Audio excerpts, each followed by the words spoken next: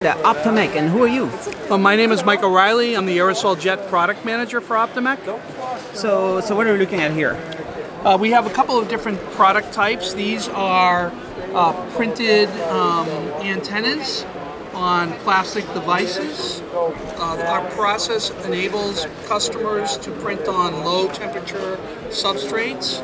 Uh, it replaces a current process that includes laser ablation of these um, different uh, feature sizes. So those are smartphone parts? These, these are all parts of smartphones, right? And so how is the uh, efficiency of the antenna compared to a normal antenna?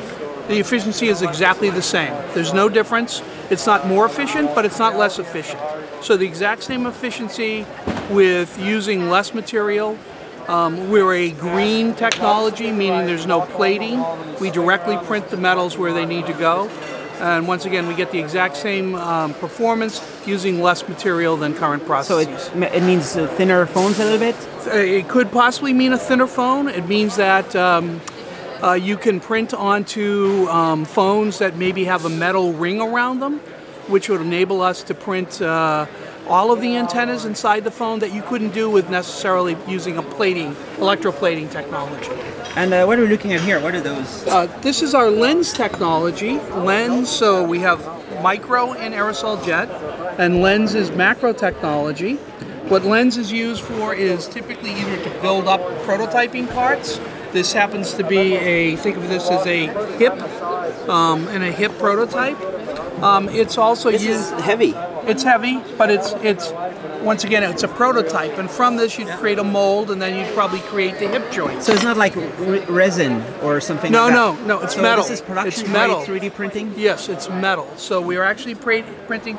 It allows us to create interesting alloys. So here I'm magnetically, I can magnetically, I can't pull this up, but as I move across this, now I can pull it off.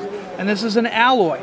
And so what it allows customers to do is to um, create interesting parts, develop next generation alloys, or it allows them to repair parts by adding features and functions. All right. So at Optomec, you do a lot of different things. You have a lot of different uh, technologies. We do. We and we really have two core technologies.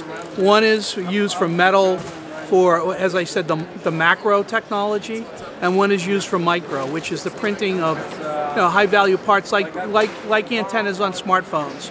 Um, but it's also used for printing uh, polymers for medical devices, things like that. All right, do you have uh, just this one right here. Uh, is this part of your product? That's part of our products.